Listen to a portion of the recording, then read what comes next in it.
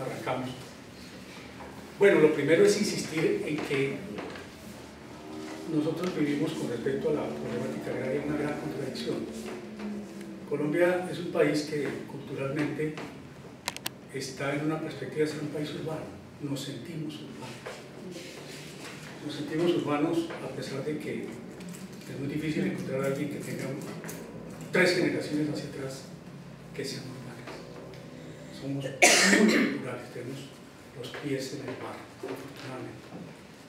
Se ha creado, sin embargo, toda una ideología, una perspectiva de eso, que somos urbanos, hasta el punto que uno de los ejercicios más importantes de reconocimiento de nuestra problemática agraria y rural, que es el censo agropecuario, se dejó de hacer durante 40 años. La FAO, ustedes saben, es la Organización de las Naciones Unidas para Y la Alimentación, recomienda que los censos se hagan cada 10 años. Nosotros nos dimos el lujo de quedarnos 40 años sin censo. Finalmente, cuando se llegó al censo, les doy esta explicación porque hay que contextualizar las cifras, en fin. Cuando se llegó al censo, hubo mucha discusión, eso le costó la cabeza a un director del DANI. Finalmente se produce el censo y comienza a ser entregado de una manera muy cuidadosa, muy paulatina, y ustedes van a entender, viendo las cifras, por qué ese censo no se quería mostrar. Porque es un desastre. El censo lo que muestra es un país supremamente atrasado, un país que, si lo comparamos, y lo traía un, gráfico, que fue producido como parte de un estudio de la CEPAL, que terminamos hace unos pocos meses, sobre los países andinos, el comportamiento de la agricultura en los países andinos, y la presentación de Colombia es dramática, y no solo por los resultados de este ejercicio que se hizo sino como les voy a mostrar con los resultados del censo agropecuario y de otros estudios. Entonces, mm, digamos, esa perspectiva sobre la realidad agraria y rural colombiana tiene unas fuentes, digamos fuentes de carácter internacional, como les comentaba la CEPAL, en unas cifras de FAO sobre los precios de los alimentos que nos enganchan a nosotros en esas circunstancias, que son bastante complicadas. El tercer censo al que ya hacía referencia, un informe que adelantó el Departamento Nacional de Planeación bajo la dirección de José Antonio Campo, que hay que reconocer, José Antonio Campo fue ministro de Agricultura, ministro de Hacienda, ministro de Agricultura, como ministro de Agricultura impulsó el proyecto de ley sobre reforma agraria, que es la ley 160 de 1994, que le dio inclusión a las zonas de reserva campesina. Yo ahora les explico por qué la insistencia en esa figura. Ese es el informe de la, de la misión del campo que tiene una relevancia muy grande. Tuvimos la oportunidad de llevarla, llevar este informe a La Habana y hay que decir que hubo una apropiación de muchos de los resultados que se lograron en el informe de la misión para la transformación del campo. Entre otras cosas, esa figura que ustedes ya la han oído mencionar, que son los programas de desarrollo con enfoque territorial, los PD, es algo que curiosamente recoge una convergencia entre la propuesta de la misión del campo y la propuesta nuestra de las zonas de reserva campesina, que pudiéramos decir, y me adelanto, es eh, el camino hacia lo que hemos denominado la construcción del Estado de abajo hacia arriba. Un poquito pretencioso, de eso, porque es la importancia de eso. Y por último, un trabajo en el que participaron algunos investigadores de la universidad que impulsó el PNUD, el programa de las Naciones Unidas para el Desarrollo, que es el Informe Nacional de Desarrollo Humano que se llama Colombia Rural, Razones para la Esperanza. Trabajo lo coordinó el profesor Lázaro Machado, también perteneció pues, a la universidad mucho tiempo. Entonces, estos eh, referentes son los que nos dan una visión muy crítica, en primer lugar, de la situación del campo y la agricultura. Y que además mmm, destacan la gravedad de que Colombia desconozca su situación rural. Digamos que estos son unos que expresan no toda la crisis agraria, pero muchos elementos fundamentales de la crisis agraria. hablamos de los conflictos sociales y armados, de la temática de las tierras, los territorios, la producción y el poder. En segundo lugar, el tema de los desequilibrios en la distribución espacial de la población. En tercer lugar, la prevalencia de la pobreza, 47% según los estimativos más conservadores, prevalencia de la pobreza en el campo. Y el problema de la vulnerabilidad de los asentamientos rurales y urbanos, algo que no, tenemos que ampliar mucho, pero que ustedes lo tienen en presente. Es decir, nosotros, no solo por las condiciones geográficas, agroecológicas del país, sino también por las condiciones mismas del desarrollo económico y social, tenemos una inmensa vulnerabilidad en nuestros espacios rurales. Tal vez el caso más dramático que estamos abocados a afrontarlo es toda la, el conjunto de, desarrollos que se prevén a partir de la crisis del hilo que está afectando una proporción muy grande del territorio y inclusive Naciones Unidas recomendó que se comenzara a desmontar. La magnitud de esto es pero es una ilustración de la vulnerabilidad de estos asentamientos eh, Por último, los problemas de suelos y aguas, y a eso quiero hacer referencia con, este, con esta observación. Colombia, según la FAO, es el quinto país en términos de disponibilidad de suelos con potencial productivo agrícola. Quinto país en el mundo.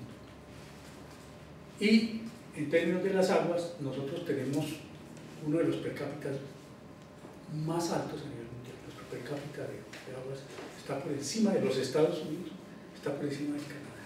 esto es sorprendente, pero es así. Sin embargo, pues vamos a ver que un proceso de, deterioro de estos recursos bárbaros, donde lo fundamental, y me adelanto a decirlo, es el conjunto de relaciones sociales, políticas, económicas y culturales que mantienen nuestro modelo de, desarrollo. Esta era la gráfica que les comentaba, el estudio de las se puede eh, visualizar el lugar de Colombia en una rayita azul que está en toda la mitad. en toda la mitad es grave que esté en toda la mitad porque nos muestra es un comportamiento total y absolutamente mediocre. Ustedes tienen aquí países como, como Bolivia, tienen países como, inclusive como Perú, Venezuela, que han subido por encima del 100 en un indicador que es el coeficiente de producción agrícola por habitante. Nosotros no hemos llegado al 100. Los demás países han sobrepasado en determinadas coyunturas. Nosotros nos mantenemos con todo el potencial que tenemos, inclusive con una distribución de la población que lo podría favorecer, pero que está en condiciones de atraso y ya vamos a ver por qué. Ese, me, me, interesa mucho que ustedes tengan como esa visión, es decir, los países andinos y la ubicación de Colombia en ese, con un desempeño supremamente Censo Agropecuario 2014.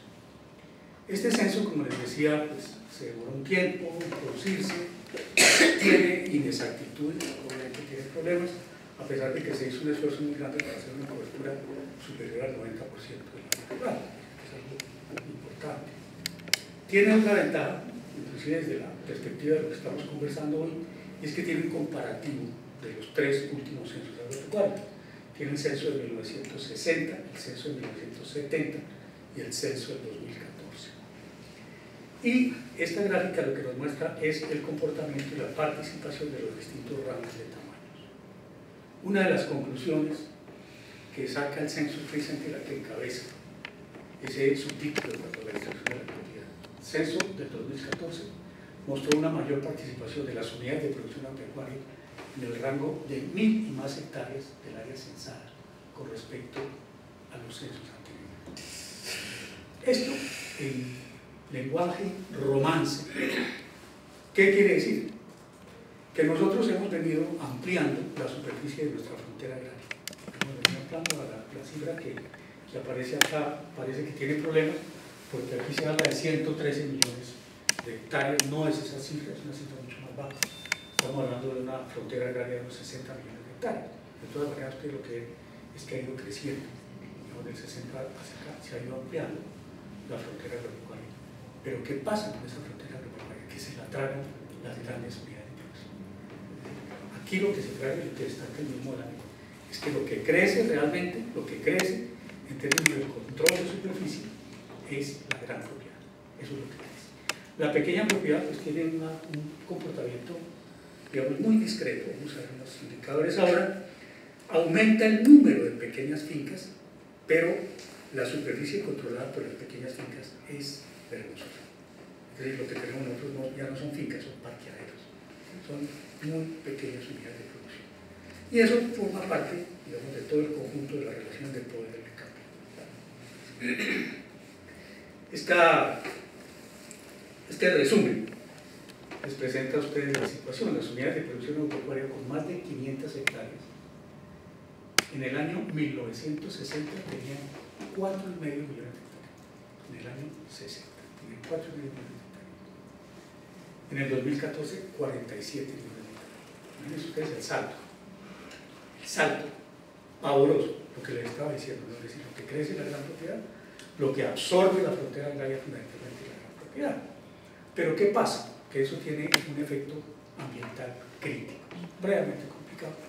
Y es que la pequeña propiedad es permanentemente empujada por la gran propiedad sobre qué? Sobre los ecosistemas más frágiles. Entonces tenemos nosotros la avanzada sobre los bosques de galería en la tilladura, que es la pequeña y la mediana propiedad, fundamentalmente pequeña y mediana propiedad, los páramos, es decir, la avanzada no la están haciendo las grandes, las grandes empujan a la pequeña propiedad. Ustedes van al páramo de Sumapaz o a cualquiera de los páramos, caso de Santurbán, cualquiera de estos páramos, y ustedes ven que la punta de lanza la tiene la pequeña y mediana propiedad, pero detrás tiene la gran propiedad. Controlando la tierra empujando los, pequeños con todos los fierros, y ahí diciendo que con todos los En cuanto a las pequeñas, las unidades de producción con menos de 50 años, fíjense ustedes, en el año 60, según el censo de ese año, eh, ocupaban un poco menos de un millón de hectáreas. En el año 2014, apenas un millón de hectáreas es lo que les estaba comentando de ustedes. Aumenta el número, pero la superficie controlada por las pequeñas la primera se multiplica por 10 y esta se multiplica por Esa es la proporción. Esa es la proporción. Sigamos. Aquí seguimos pues con eso. Las, el 0, miren ustedes, el 0.4% de todas las unidades de producción, que son las que tienen de 500 hectáreas por arriba, tienen el 68% de la superficie. Se tragan. Y las pequeñas tienen apenas el 2.7% de la superficie. Y ahora vamos a ver las implicaciones que esto tiene. Esta es otra presentación de la distribución de la propiedad que precisamente está desagregada de las 500 en, en adelante. 0.2, 0.2, estamos hablando del 0.4% de las unidades de producción agropecuaria que tienen el 40%, más del 40%. Yo les voy a dar este, esta presentación porque creo que es útil. Para no manejar un mamotreto. Pero bueno, lo que haré es Ginis, un coeficiente Sí, sí, catastrófico. de barril. Entonces, año 97, y es muy importante tener en cuenta en qué periodo estamos hablando. Año 97 tenemos un coeficiente de 0.86, en el 2014 ya casi llegamos a la unidad. Un coeficiente tiene que, uno es total, control eh, un poquito, un poquito borrosa la prueba, pero yo creo que ustedes haciendo esfuerzo con esos ojos. Ten cuidado. Van a ver lo siguiente. Aquí van a ver, tenemos estos colores. Este color violeta son los municipios donde hay un predominio de la gran propiedad. Es bien interesante que ustedes tengan presente esta imagen, en dónde está la gran propiedad. No es que en otras partes no haya gran propiedad, pero aquí el predominio es muy fuerte, la gran propiedad. Entonces fíjense ustedes que está en los valles interandinos, el Valle del Cauca, fundamentalmente. ¿Qué hubo, señor? Eh, Antioquia, hacia abajo, las sabanas del Caribe y el Piemonte y la Tilla. Entonces, ubiquen ustedes muy bien. Piemonte, valles interlatinos, ahora del Caribe. Ahí está la gran propiedad. Este color ladrillo es donde está la pequeña propiedad, fundamentalmente, es una estructura muy estable, la pequeña propiedad. Minifundio tiene que estar, tiende a estar fundamentalmente en las laderas, en la ubicación. Ustedes recuerdan el informe del profesor Kerry y hablaba de eso, la, la, fórmula que proponía Kerry era bastante brutal, es decir, los campesinos en esas condiciones no tienen una alta productividad, la tienen en las ciudades y los echan para las ciudades. El informe de Kerry es de 1950, cuando empieza la dinamización de la violencia que va a sacar, va a tratar de resolver el problema de los Lo saca de donde está, pero tampoco, ¿no? No, no, se produce. Pero bueno, digamos, esos son, son comentarios ahí de pimienta, pero lo fundamental es que ustedes tengan presente esa distribución espacial. Siguiente, vamos a ver más cosas. Esta es una, eh, digamos, es una eh, gráfica que yo la presento como para que tengamos como telón de fondo el comportamiento de los precios de los alimentos, porque a nosotros nos va a afectar brutalmente. Y ahora con la próxima reforma. Pero la, la, tendencia, la tendencia de los precios de los alimentos. Entonces, es muy interesante esa tendencia de los precios de los alimentos porque está vinculada a los procesos. Este es el proceso fundamental. El proceso fundamental, mis colegas químicos, físicos, es el matrimonio que se produjo entre la agricultura y el petróleo. Lo que se llamó la revolución verde fundamentalmente contempla, por una parte, el manejo de los recursos genéticos, es, decir, la manipulación del plasma, semillas, etc. Pero lo es cómo lograr los propósitos de la revolución verde en términos de producción y de productividad, elevar la producción y la productividad a través de la utilización de fertilizantes y otros insumos, insecticidas, defoliantes, etc., que son los que constituyen el paquete agrícola, digamos, que trata de ser trata de ser tiene muchísimo peso. Esa curva que llamamos de los precios de los alimentos está incidida precisamente por el matrimonio de la agricultura con el petróleo. Es decir, la agricultura se volvió dependiente del petróleo, porque es a partir del petróleo que se obtienen estos insumos fundamentales, la urea, etc., todos esos insumos para llevar la producción y la productividad de estos, de estos productos que además son cada vez más reducidos. Son muy pocos los, productos que realmente se están eh, haciendo eh, objeto de la revolución. Es decir, nosotros, parte de la tragedia nuestra de la pérdida de la de la biodiversidad es que cada vez trabajamos con una, menor cantidad de, cultivos. Se ha ido reduciendo, se ha ido reduciendo la disponibilidad de cultivos, sobre ellos se incide para llevar la producción y la productividad, pero con unos eventos perversos supremamente graves que también nosotros.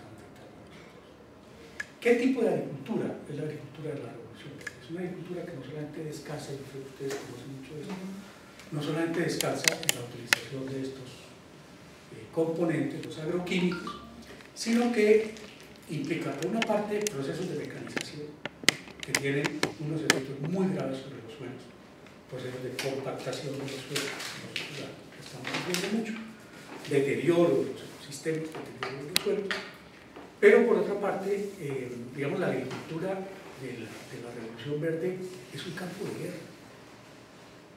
Hay una física, ella es eh, bengalí, Vandana Shiva, ella ha hecho una serie de reflexiones y estudios muy interesantes sobre esa contraposición entre lo que es la agricultura campesina, la agricultura tradicional y este tipo de agricultura de la revolución verde.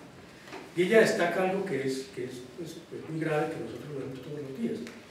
La agricultura tradicional es una agricultura que trata de apoyar el potencial productivo de los suelos. Los suelos como espacio vivo, no, no, los suelos como espacio para poner encima máquinas, para, para poner encima los grandes cultivos de, homogéneos, como la soya, como la caña de azúcar, como el aceite, etc., sino los suelos como vida, los suelos plenos de organismos, los suelos en donde la vida se está impulsando. Estos son suelos que se aplastan. Los suelos de la, de la revolución verde son suelos que se aplastan, que se deterioran fundamentalmente. Ese es uno de los temas que ha trabajado la nación, que es interesante también tener en cuenta y relacionarla con este comportamiento, el matrimonio perverso de la cultura del petróleo. Bueno, sigamos. Nos metemos entonces ya censo agropecuario. Los resultados del censo presentados, estos son algunos de los gráficos del censo. El tema de la tierra y el uso de la tierra. Mm, pensando un poquito atrás, lo que estamos viendo atrás del proceso de, concentración de la propiedad, de expansión de la gran propiedad, eh, ve uno estas cifras y uno dice, bueno, ¿para qué se concentra la tierra? ¿Para qué se concentra cuando el 80% de la tierra está dedicada a esa praderas?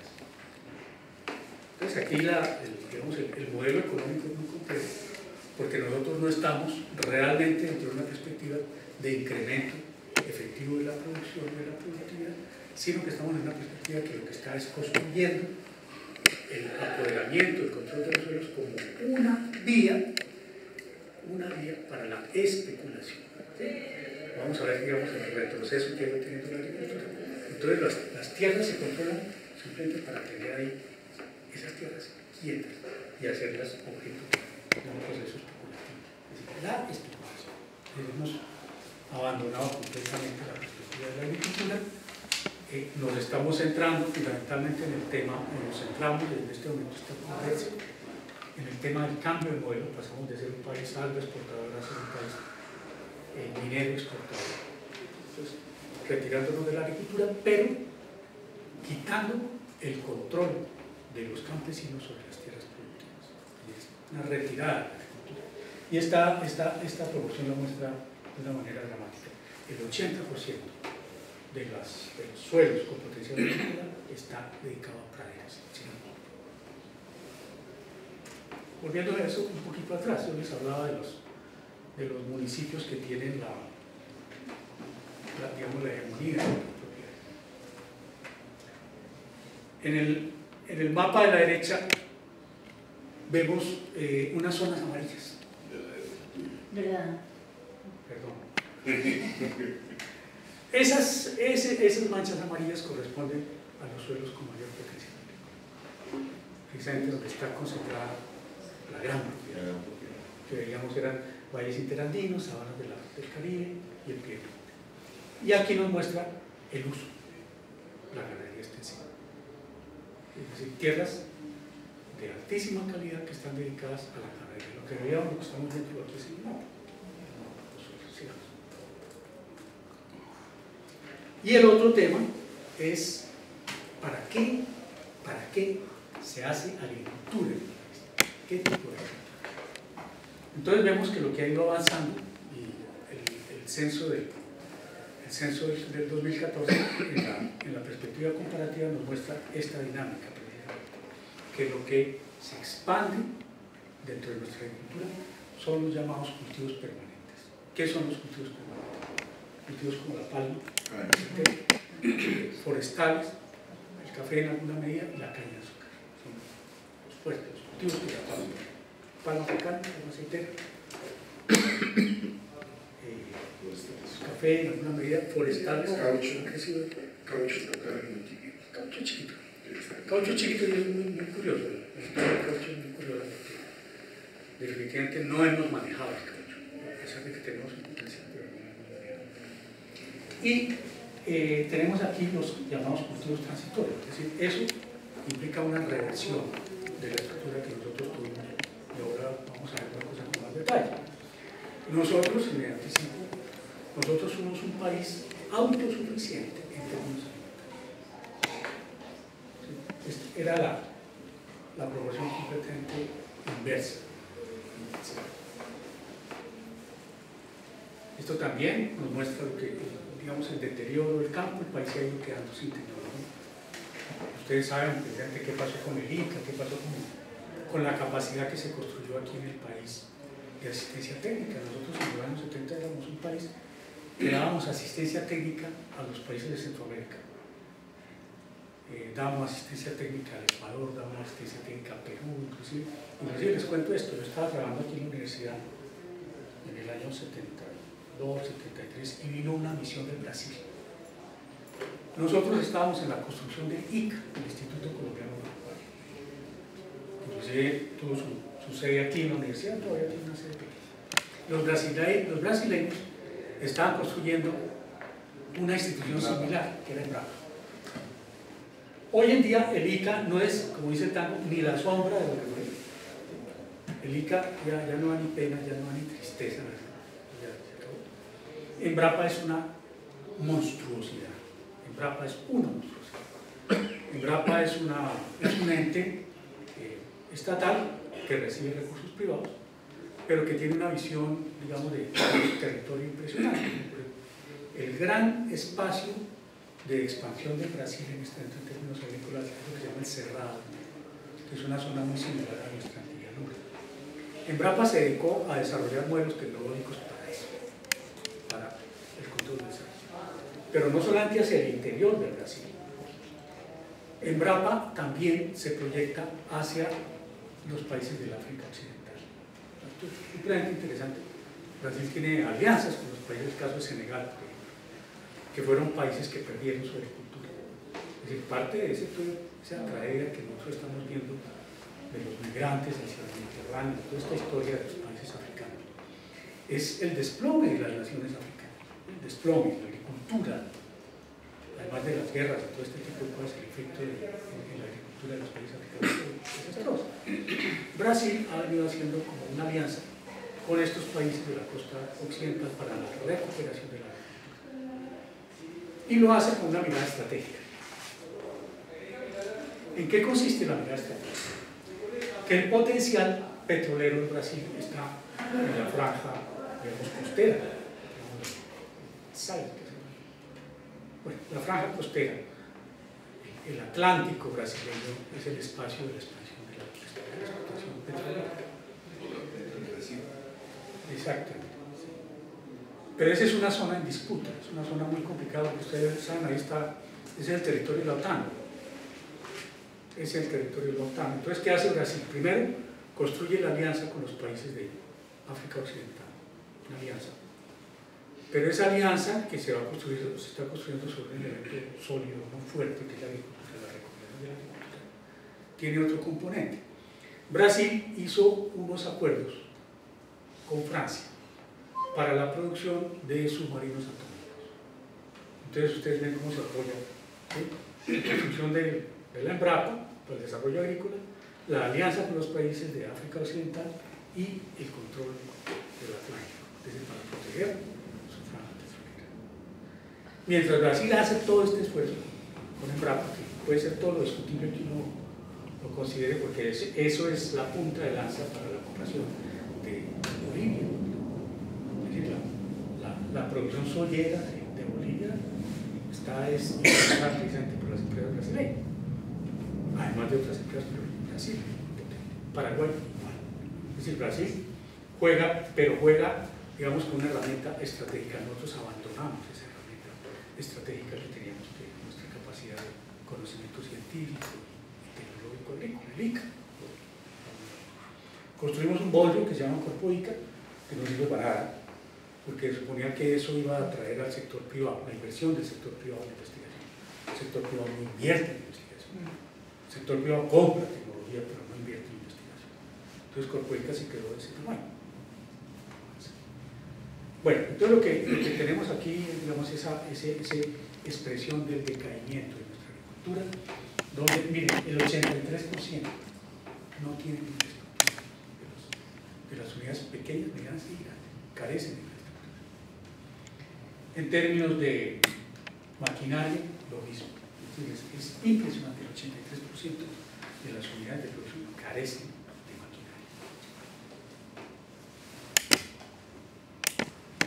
y el tema de los cultivos. Entonces, fíjense ustedes, las barras amarillas son los cultivos temporales, las barras azules los cultivos permanentes. Las barras amarillas que representan fundamentalmente la agricultura campesina, cultivos transitorios, hortalizas, fundamentalmente, fundamentalmente, lo que son los cultivos campesinos, los cereales, etc. Y eso está en franca caída, ¿cierto? Es decir, del 60 para acá lo que vemos es lo que recoge el censo del 2014, que ya es expresión, donde veníamos de tener una participación muy alta, como les decía yo a ustedes, de la producción de alimentos, y lo que ha subido es la producción de eh, eh, cultivos para biocombustibles, fundamentalmente para la exportación, con otros problemas muy graves. Mm, ustedes saben que desde el gobierno del presidente Pastrana se viene impulsando una, una política para el desarrollo de este tipo de cultivos, los que han llamado cultivos provisorios. Inclusive hubo una misión, estuvo un cuerpo, cuerpo diplomático nuestro en Malasia, Indonesia, viendo cómo era el desarrollo de la palma africana. Y la palma africana realmente, aquí se, se hizo una serie de desarrollos, hay una serie de desarrollos interesantes, pero tenemos unas limitaciones brutales. La principal limitación que tenemos nosotros son los costos de la. Es decir, una tierra tan concentrada como la que vemos en esa distribución hace de esa tierra algo supremamente costoso. Eh, la SAC contrató con Fedesarrollo un estudio sobre los costos de producción de la caña de azúcar y resulta que las tierras del Valle del Cauca son de las más caras del mundo, de las más caras del mundo. Entonces imagínense ustedes tratar de desarrollar un cultivo como la palma de aceite, pensando en las exportaciones con unos costos de producción tan altos, ¿eh? produciendo con tierras de esos, de esos costos. Entonces, ¿qué pasa? Que nosotros realmente cuando llegamos a los mercados internacionales tenemos unos costos de producción que son el doble de los de Malasia e Indonesia, que son los principales competidores. Los principales competidores en biocombustibles Malasia e Indonesia. Y sus costos de producción son el 50% de los costos nuestros. Y el factor que más incide, el costo de la tierra. Y el costo de la tierra, entonces, está muy relacionado presente con la correlación campo. ¿A quién le interesa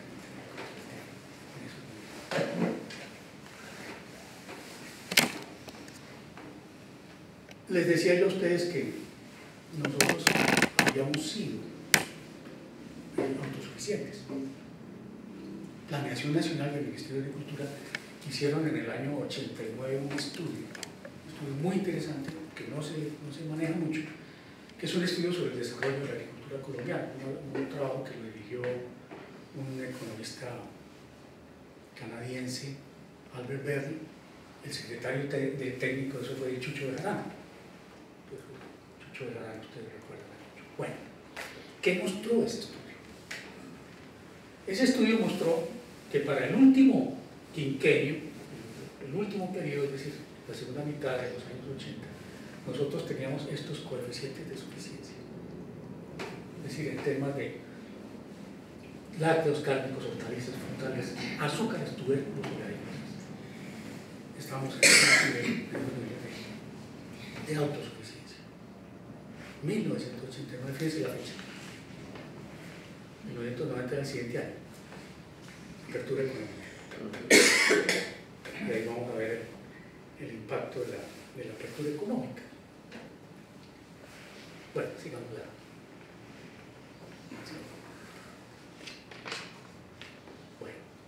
En primer lugar, hay un fenómeno pues, muy dramático que es el proceso del desplazamiento forzado, que se dispara a finales de la década del 80 y durante el momento para acá. Ya es algo, pues, ya sabemos, estamos en 7 millones de desplazados, o más de 7 millones de desplazados. Entonces, si uno compara, uno articula el comportamiento del proceso de desplazamiento forzado con el comportamiento de la agricultura, pues lo que saca una conclusión es que esta población desplazada era la que producía los alimentos. Mira este el hueco, el hueco del desplazamiento forzado, está precisamente en el, de la producción de los alimentos. ¿Qué producían estos desplazados? Y el siguiente era. Ah, es que estás confundiendo el siguiente. Sí. Bueno, importación.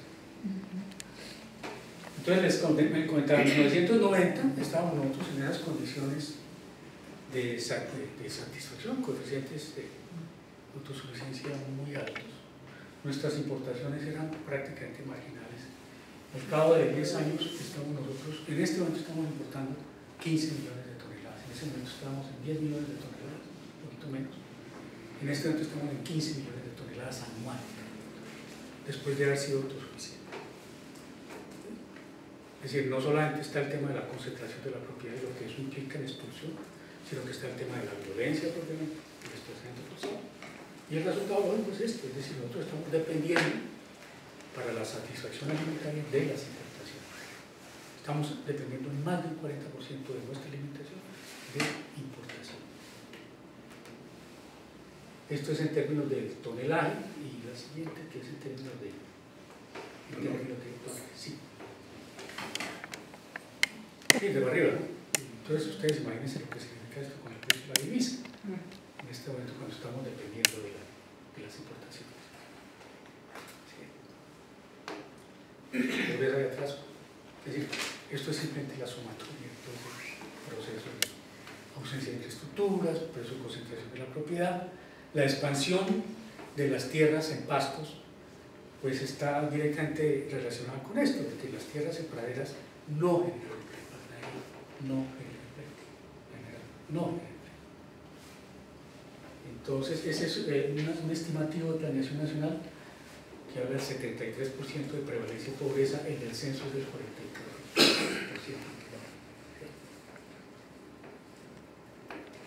Bueno, y enganchamos con, ya con el geopolítico. Mm, sobre todos estos elementos es que se hace el diagnóstico que sirve de base para el planteamiento del punto 1, reforma Ustedes saben que es un tema bastante circunscrito, es decir, nosotros no, hablamos de una gran reforma agraria, hay una serie de sectores que son muy críticos con respecto al, acuerdo de la no pidieron una reforma, no pidieron una reforma agraria total, ¿sí? No, no, lo más modesto fue eso, para beneficiar a 800.000 familias campesinas. Y ahí se planteó el tema de los 7 millones de hectáreas de formalización y los 3 millones de hectáreas de acceso a la tierra. Es decir, es un proceso bastante modesto, pero que ustedes saben que tiene un carácter dinamizador muy fuerte. Lo están viendo ustedes en este momento. Pero ¿qué ocurre? Que mientras se está aprobando el, el punto 1, precisamente cuando se está aprobando el punto 1 del acuerdo, el gobierno está moviendo la ley de CIDES, la, la ley 1737 de 2016. Es la antinomia total del punto 1 del acuerdo. Porque los CIDES, eh, en primer lugar, plantean una, una, nueva definición sobre el tema de, la tierra, para quién es la tierra. La ley 160 plantea que la tierra de baldíos de la nación son para entregarlos fundamentalmente a campesinos.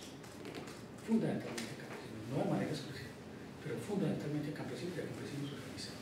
Ese es el texto de la ley el gobierno venía preparando el proyecto que se entra a discutir ahora, el proyecto de reforma de la ley 160, que es el que le hace el marco a la creación de las zonas de interés y desarrollo rural, las CINDRES.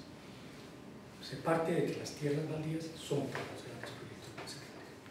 Inclusive no se habla ni, ni siquiera de titulación, sino de concesiones, pueden ser tierras en arriendo, pero para proyectos de 20, 30 años, arriendo de 20 o 30 años, eh, y lo que implica es que esa tierra de todas maneras se excluye de la posibilidad que accedan a ella los campesinos. Es decir, se está negando de entrada el punto, de entrada se está negando. Pero el agravante no es solamente eso, vienen otros, otros temas. primer tema de la correspondencia con la internacionalización. Esta es una, una problemática que obviamente está referida no solamente al tema agrario, sino al dinero. Grandes empresas, grandes corporaciones las firmas internacionales, de una u otra manera le apostaban al tema de la paz. Es decir, ellos estaban buscando tener condiciones de inversión tener condiciones de seguridad Y seguridad desde el punto de vista político, pero también jurídico. Por eso hay un, digamos, un beneplácito con algunos de los contenidos del acuerdo en términos de la desarrollo del catastro, por ejemplo. Catastro no, solamente nos beneficia a nosotros, sino que también beneficia a las grandes inversiones. Ninguna empresa, en particular una empresa transnacional, va a considerar un proyecto de inversión si no tiene seguridad jurídica sobre la tierra donde se va a invertir. Ellos se curan esa ley. Y por eso ustedes ven relativamente una baja proporción de la inversión externa en este tipo de proyectos. No hay. Es decir, hubo unas inversiones, vamos a proyectos de Brasil, proyectos de Cargill, que es norteamericano, está la River, es decir, hay unas cuantas empresas, pero es una cosa bastante circunscrita, porque está muy condicionada, está muy limitada a las condiciones jurídicas de la tierra. Mientras ellos no vean condiciones jurídicas, Pero están detrás de eso, es decir, el momento en que ya se puedan hacer las inversiones, y por eso el afán con las CIRES, es decir, que se apruebe eso, pero que vaya de la mano a procesos de, de desarrollo del catastro multipropósito, de ir avanzando en la legalización de la tierra. Y están en una avanzada impresionante, impresionante. En estos días presente en la zona limítrofe entre el Meta y el Caquetá hay un conflicto muy fuerte con los campesinos. Están expulsando a los campesinos que estaban asentados allá, lo que se alega es que son tierras que las estaban controlando mafiosos y que eran de testaferros de las FARC. Pero con ese argumento eh, se está presionando para sacar los campesinos de 400.000 hectáreas. Es una zona de muchos intereses, no solo en términos agrícolas, sino petroleros. Entonces, digamos, fíjense ustedes que, que la paz también es, es vista desde esta, desde esta perspectiva. ¿A quiénes les interesa? Y eh, tiene un tema adicional del que no se ha hablado, que sí. me preocupa mucho, que es el tema de la constitución de las zonas francas. La constitución de las zonas francas, ¿qué significa? No solamente son los beneficios de carácter tributario de las zonas francas, es que las zonas francas tienen un componente que es el régimen laboral. Es una de las grandes peleas, por ejemplo, en Urabá. Las zonas francas porque ahí no hay código laboral. Es decir, son los contratos que establecen la empresa y tienen de entrada la bendición del Ministerio de Trabajo. Entonces lo que tenemos nosotros es que no solamente se está empujando a los campesinos fuera de la tierra, se les quita el acceso a las tierras de baldío que están establecidas por la ley y a ese campesinado, en proceso de expropiación, que son millones, en proceso de desterritorialización, se le somete como mano de obra a las condiciones de los Se le da mucho, peso y se considera que esas CIRES son una forma de ordenamiento territorial. Es decir, estamos entrando en un terreno muy agresivo. Bueno, ese es el, ese es el tema, básicamente. Así hay otra cosita. Hay otra cosita. La siguiente. Esta es la cereza del postre. Estas son eh, zonas protegidas, títulos y solicitudes mineras. Fundamentalmente nos interesa lo que son títulos y solicitudes mineras. ¿Cuál es el despliegue espacial de este control? Fíjense la coincidencia con los mejores suelos. Está eh, la Baja Guajira, es decir, una parte muy importante aquí de la frontera con, Venezuela, partes de las sabanas del Caribe, valles y y algo de, eh, comienza a ingresar hacia el Piedemonte y la Amazonía. Tenemos 5 millones ya de hectáreas en títulos mineros. Tenemos 6 millones de hectáreas en agricultura y 5 millones de hectáreas en explotación minera. Bueno, ese es el lío. Ese es el lío que les quería yo plantear a ustedes. Es ustedes ya conocen algunas de estas cosas, pero me parece importante que podamos mirar el diagnóstico, que este es un diagnóstico producido con la limitada pero existente información sensor de los informes de la misión del PNUD, de la otra misión, pero este es el panorama que tenemos nosotros en el campo. Hay un elemento que yo le, trascendencia al principio, que es el tema de las zonas de reserva campesina. Zonas de reserva campesina es una figura, digamos, que tiene una trayectoria muy larga entre nosotros. Es formalizada en la Ley 160 de 1994, el capítulo 13 de la Ley 160 está dedicado a las zonas de reserva campesina. Pero, ¿qué es lo que ha significado las reservas campesinas? Las reservas campesinas tienen detrás una historia muy larga que comienza con el decreto 1110 de 1928.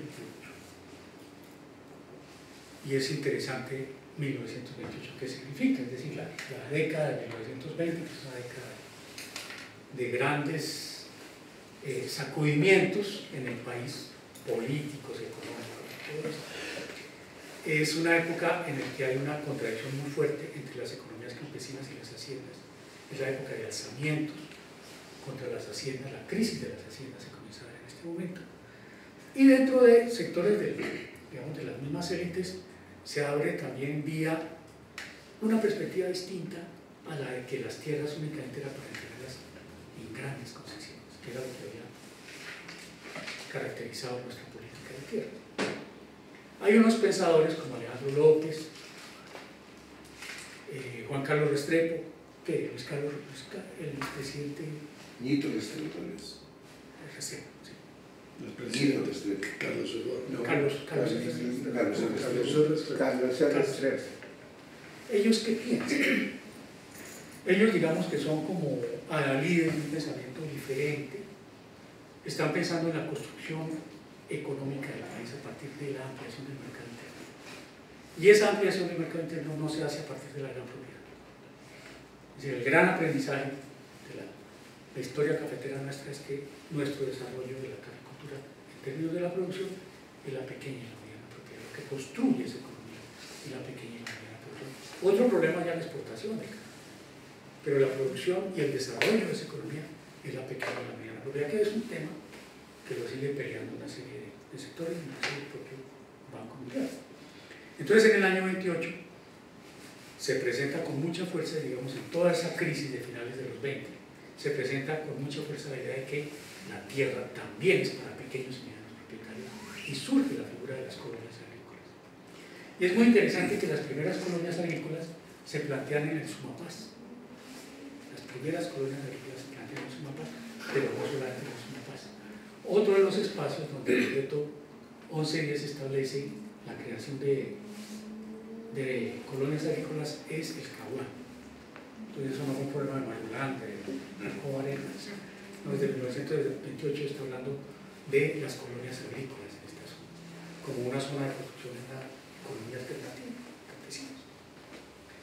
La figura, como ustedes imaginan, pues tuvo muchos, muchos, muchos problemas. Eh, digamos, los años de la violencia, arrasaron con las colonias agrícolas que ya se habían fundado, Inclusive les mencionaba que en estos días se, se publicó un libro es una historia muy dramática que se llama Cuadernos de la Violencia. Cuadernos de la Violencia es una memoria de un campesino de Villarrica que le tocó vivir como niño los bombardeos del año 48, 41 hasta el 54. Entonces él describió eso en esos cuadernos que se encontraron y se rescataron. Y él nace y vive esos primeros años en la colonia agrícola de Villarrica. Entonces son como esas memorias que tenemos los años 28, eh, fines de los 40, las colonias agrícolas y lo que hoy se está recuperando, donde fíjense ustedes, ya con esto cierro, fíjense ustedes que es muy interesante la proyección política, espacial y económica de las zonas de reserva campesina. Porque las zonas de reserva campesina no implican una titulación individual, hay una titulación individual, pero se trata fundamentalmente de comunidades campesinas organizadas con territorio. Y ese es el punto de partida para lo que ustedes conocen los programas de desarrollo con enfoque territorial.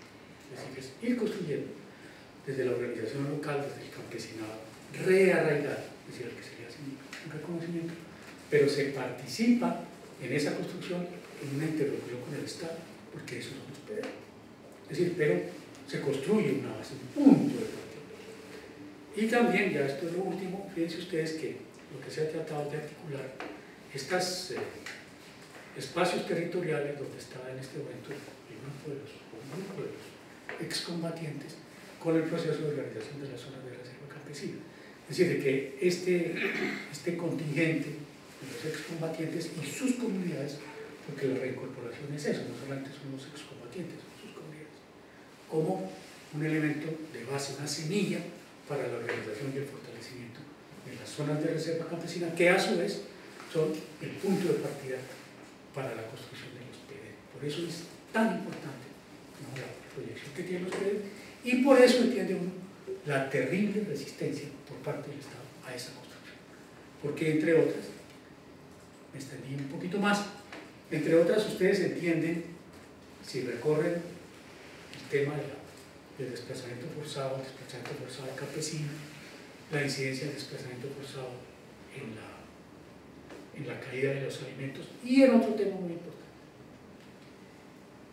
la formación de ese ejército de reserva, porque así lo tenemos que entender, es decir, 7 millones de desplazados que son, una oferta laboral inmensa, gente desarraigada, desorganizada, terrorizada, está ahí para ser contratada por lo que se les quiera contratar. Es decir, la guerra, además de, los muchos efectos que ha tenido, uno de los más críticos es precisamente el envilecimiento de los. Es decir, contar con esta oferta de mano de obra totalmente disponible es un factor fundamental hasta el punto que ustedes pueden ver que en el año 92, en el año 96 y en el año 2002 que son picos muy altos del desplazamiento forzado, coinciden precisamente con los proyectos de ley, con las leyes de flexibilización laboral. Es bastante perverso que precisamente cuando se cuenta con una oferta muy grande de población desplazada, se eh, introduce esta, esta reforma laboral, la flexibilización. Entonces, pues para el, para el modelo predominante, la reserva campesina, lugares donde las comunidades organizadas se arraigan, es el antimodelo. Bueno, eso es. Muchas gracias.